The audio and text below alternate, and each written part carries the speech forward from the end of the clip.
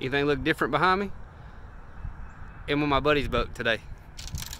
Got a friend of mine came down from a long way up north and we're going to catch some big Chickamauga bass today. Hopefully I catch some that's actually big instead of what I normally catch, which is all two pounders. It's gonna be fun. We're gonna go, I'm gonna sit back, see how he would break this lake down. So that's what we're doing today.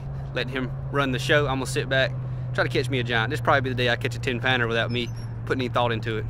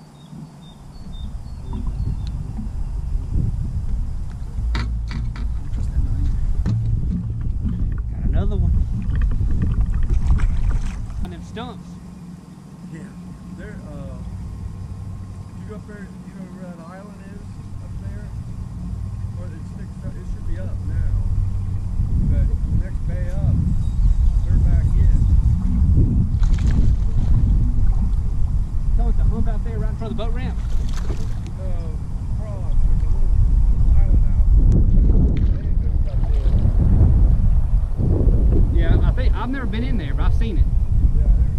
Yeah, It's on the point the campground's on. yeah, it's on this side. Yeah, okay. Did y'all catch a bunch in there? No, we haven't been up in there.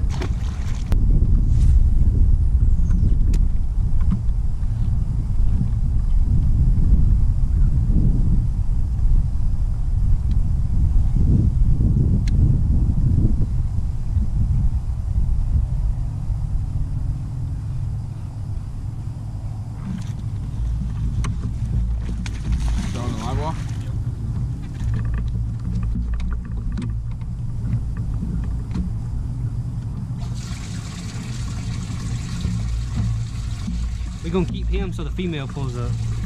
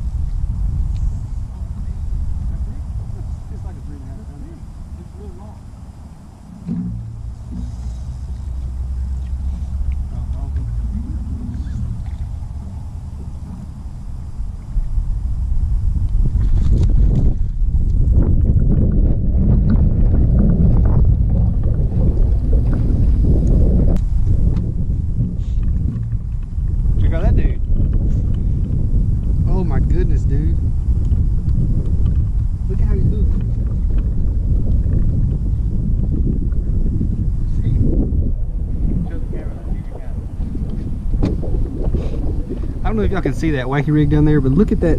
All that's in there is a hook point. Like, literally nothing. Good one, though. Up there. Bloody tail. Yeah. They're on bed beside that stump.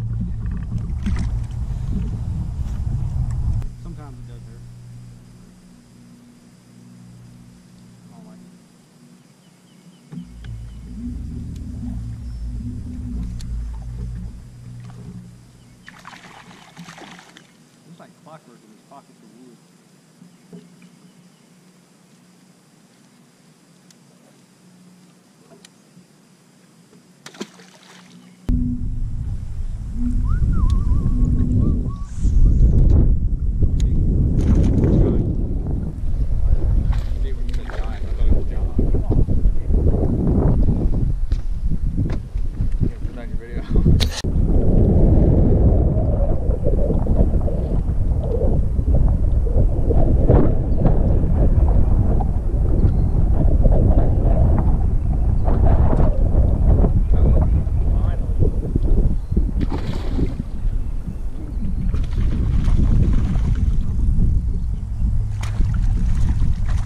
Fished all day for that thing.